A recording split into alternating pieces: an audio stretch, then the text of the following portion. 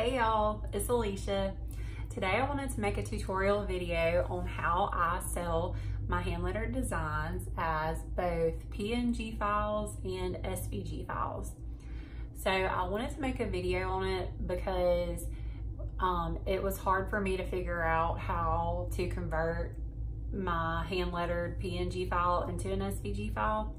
And of course I made it way harder than it really was. And whenever I was trying to figure it out, I couldn't really find any tutorial videos on how to do the way that I ended up figuring out.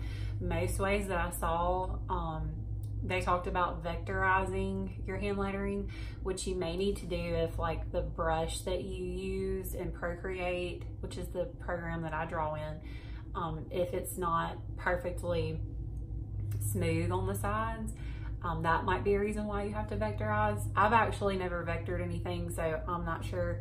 Um, don't listen to me about that. But the brush that I use is smooth on the side, so it works perfectly. So I don't have to worry about that.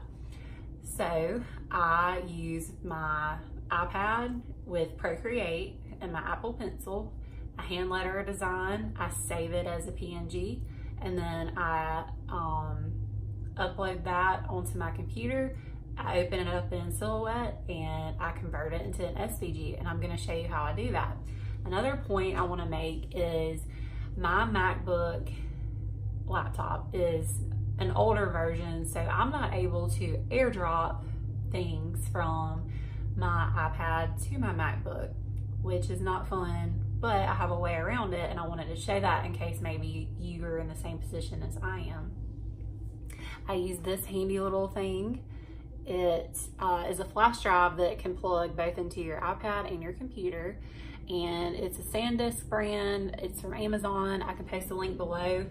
Um, also, my neighbor's mowing, so sorry about the noises, but real life. of course, whenever I got ready to record this, they decided to mow. But anyways, so um, now we're gonna step into, I'm gonna show you the steps I go through on my iPad and the steps I go through on my computer. So let's get started. So I have my hand lettered word pumpkin and what I'm going to do is I'm going to turn off my background,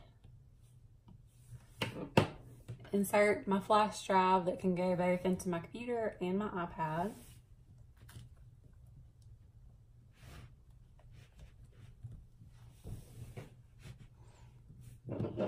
Tap allow, go back to Procreate, tap the little wrench and then it's on share. I'm going to share it as a PNG.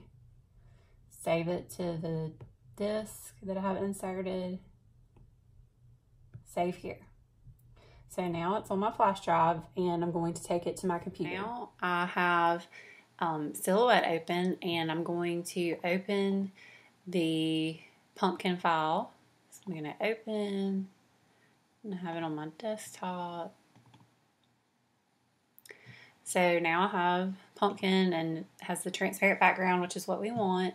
So now I'm going to trace it. So I'm going to come over here, click the trace tool, select trace area, select all around the pumpkin, and I'm going to click trace. So now you can see that there is a red outline around the word pumpkin. I'm going to click just kind of in the center so that I click the word and I always just move it away and delete it. And now I'm left with this outline. And what I do is I change that outline color to black.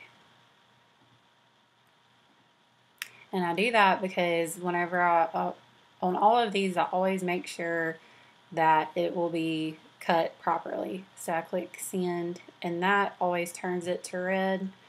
So I look at it and I see that it's going to cut well. So that's it. And now I'm going to save it as an SVG. So click Save As, Save to Hard Drive. I'm going to save it in my SVG folder. And then I'm going to make sure to change this to SVG. Click OK. So now you have a cut file, and then I have the PNG file.